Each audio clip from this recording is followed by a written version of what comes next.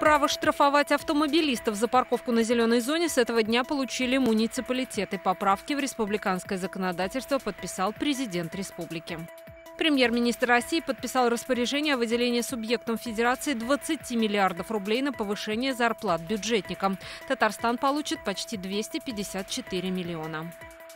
Оранжерея Казанского зооботсада закрыта из-за ремонта крыши. Об этом сообщает пресс-служба мэрии города. Из-за технического состояния крыши доступ посетителей запрещен. Напомним, оранжерея является памятником культурного наследия.